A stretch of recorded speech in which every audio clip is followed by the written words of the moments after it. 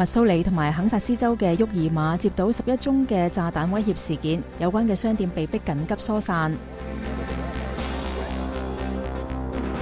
阿利桑拿州嘅凤凰城受强烈沙尘暴吹袭，暴雨造成洪灾。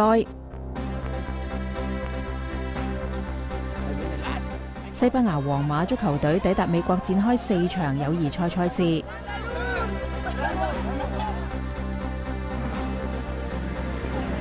加州雅列霍嘅六期探索王国游乐园最新嘅超人过山车失灵，游客被困喺车内。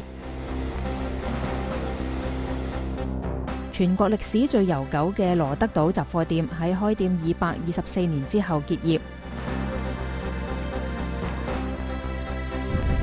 加州帕克莱举办北美其中一项最大型嘅风筝节。